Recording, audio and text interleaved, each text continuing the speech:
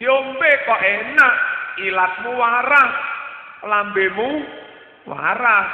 Oh enak kaya ngene diombe. Lawara kabeh ra enak, duduk salahe wedang. Salahe apa? Salahe lambemu sari sari awan. Diniati nggih krana Gusti Allah kula kepengin nyampekne barang bener ora oleh ana sing kesi kesinggung. Lamun jenengan manggih dokter spesialis pas. Lek ngobati ya pas. Lek menepil ya pas. Insya Allah waras wong cocok. Dokter spesialis ananging pahit rampil arep tak telan kok pahit men rata telan iku ya ya bener pancen iku obate. Pilih pundi? Pilih pahit-pahit diuntal ben waras napa gak gelem gak kena pahit?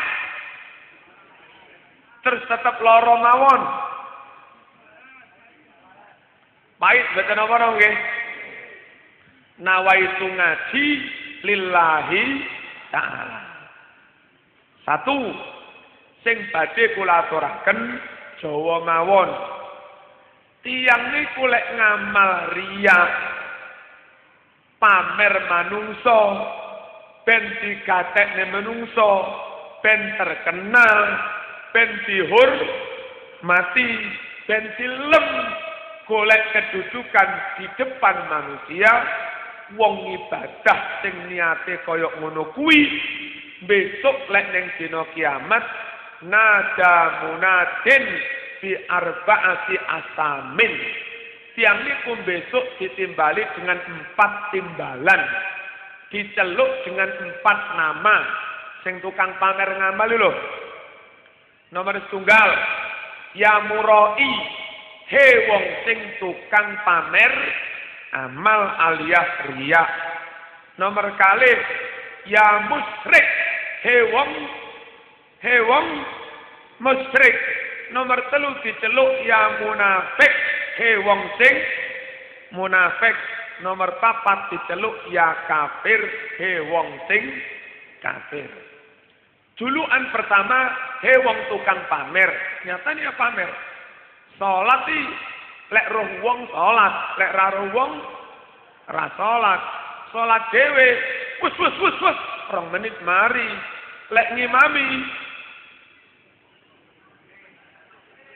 diwacakne bakara. Napa malih nyun sewu ngimami ning kantor Pemda dimakmumi bupati. Wah, sak temanggung imam sing paling apik aku bupati. enten niat pamer krana menung menungso besok wong iku ning akhirat diceluk he wong sing tukang pamer ra usah njaluk ganjaran ning aku ra usah njaluk ganjaran ning Gusti Allah kono njaluk ganjaran ning wong sing mok wong mok pameri ya jelas ra oleh apa-apa wong sing duwe ganjaran duwe swarga neraka namung Gusti Allah.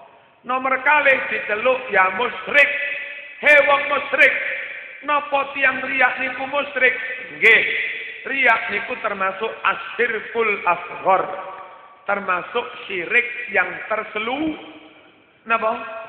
Terselubung samar ketorone Allah, Allah, Allah. Daya ben diarani wali. Nenek.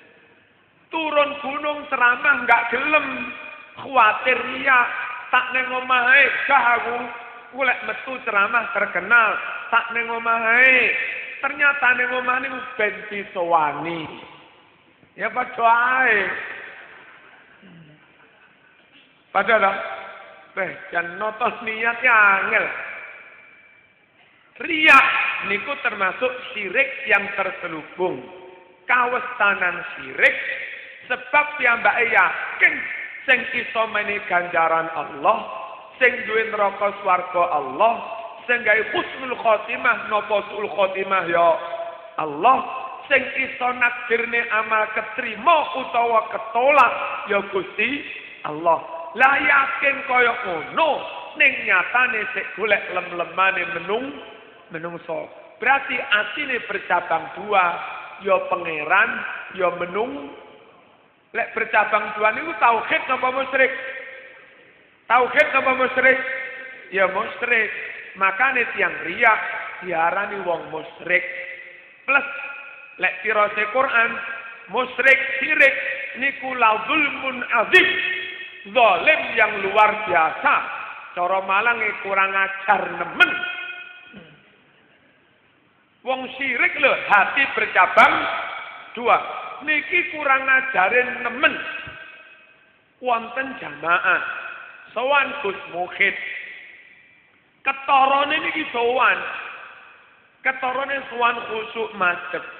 Tapi ternyata golek liya. Biasa lek aku sowan. Iku terus punya iku nyukuh wedang. Nah, ketorone sowan Romo Yai, begitu punya teng ruang tamu nyukuh wedang, lha dadak ngene. Ya rono ya rono. Sowan kiai itu mung dialat ben iso nglirik bunyai. Kurang ajar orang ini.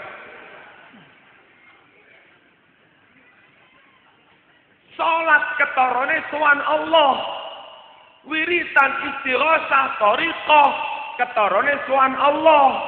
Dakwah jihad ketorone sowan Gusti Allah. Ternyata golek liya ben kepilih jadi ketua RT. Bercabang dua betul ini. Wah, jen, uh, jen, uh. kurang kurang kurang ajar. Pantes wong kaya ngono kuwi diarani wong musyrik sebab nyatane memang bercabang bercabang dua. Nah, sing ketrima temenan niku sing full krana Gusti Allah. Kuatir tiang kaya ngenten niku yahsabuna annahum yuhsinuna sun'a. Ngira rumangsa wis berbuat sangat baik, ternyata pus gak enek Napa? Gak enek apa-apane. Besok teng dina kiamat wong riak niku cara mlitare mutan mutun kental kental kentul wah aku mesti husnul khotimah mesti swarga ganjaraku sak temanggung paling paling akeh wis mesti kecekel tangan rumangsane bareng diparani temenan apa? Wa qadimna ila ma amilu min amalin. Faja'alnahu haba'an man mansura. Bareng ngamali diperiksa pangeran tibake rene apa-apane disawatne kaya wedi sing diawur. Wis ora ana apa-apane. Napa malih teng surat tetunggale ngene a'maluhum kasarabim biqi'ati yahsabuhu dham'anu ma hatta idza ja'ahu lam yajidhu syai'a. Amale wong sing riyak mboten krana Gusti Allah niku kaya fata morgana kaya amun amun-amun. Disawang teko adoh kaya banyu ngombak. Bareng diparani. Napa mboten enten apa-apane arep mati rumangsa ngamali akeh mutan mudun mesti swarga bareng mati tenan lha pundi Gusti amal kula sebab mau pamerne menung menungso. Allahumma salli ala Muhammad.